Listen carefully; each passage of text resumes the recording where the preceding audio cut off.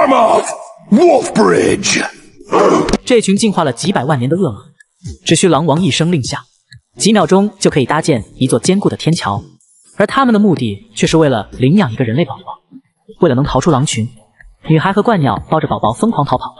本以为划船到对岸就可以躲避狼群，没想到狼群瞬间就搭建一条全自动围。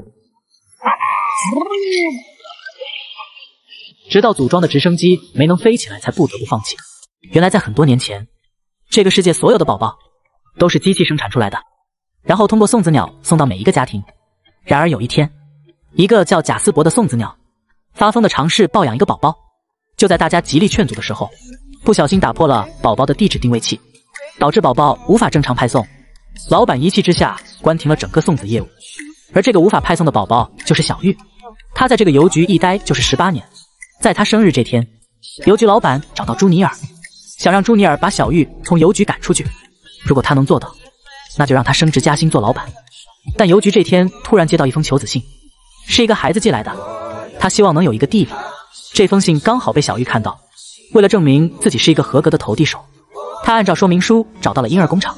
当他按照信封要求把信放进造娃机器的时候，神奇的一幕出现了：休停了十八年的婴儿工厂突然重新启动。正当他们感到不可思议的时候，一个宝宝被成功制造出来。而刚出生的宝宝有一种神奇的魔力。I want to see the baby. No, no, no, we do not open that thing. Just a brief exposure to baby cuteness can ruin your life. Remember, Jasper? 为了不让老板发现这个宝宝，朱尼尔和小玉决定偷偷的把宝宝给送出去。他们找到一台尘封了几十年的飞行器，仅仅需要二十个空中翻滚即可实现一键启动。他们刚刚出发，就有一只大鸟盯上了他们。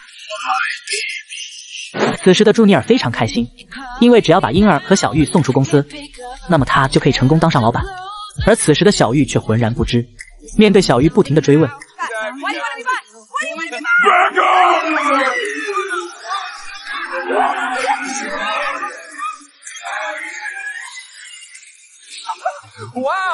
经过这样一折腾，机器里面的宝宝哭了起来。母爱爆棚的小玉突然想保护这个宝宝，他爬上飞机顶部，试图打开宝宝舱门，可这时的飞机却因失控坠入悬崖。生气的朱尼尔想就此甩掉小玉，独自护送宝宝回家。就在这时，他被一群恶狼包围。当他们再次醒来的时候，已被恶狼绑在洞穴。此时的狼王叼着宝宝走了进来。就在他们争抢着谁先享用第一口的时候，两只狼王瞬间爱上了这个宝宝，他们决定领养这个可爱的宝宝。I'm in love too. I agree, I agree, I agree, I agree. Hey guys! This tiny thing is now a wolf, everybody! 宝宝的笑容使他们无法自拔。如果宝宝不开心的话，What did you thought? Come